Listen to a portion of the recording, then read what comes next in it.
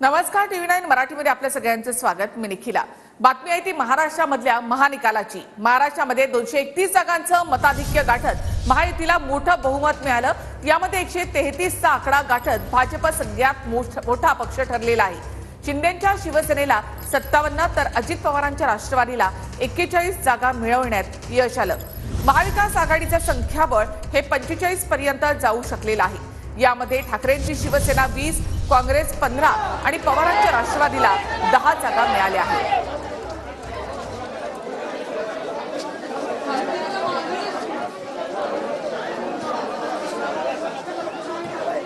मिळालेला आहे.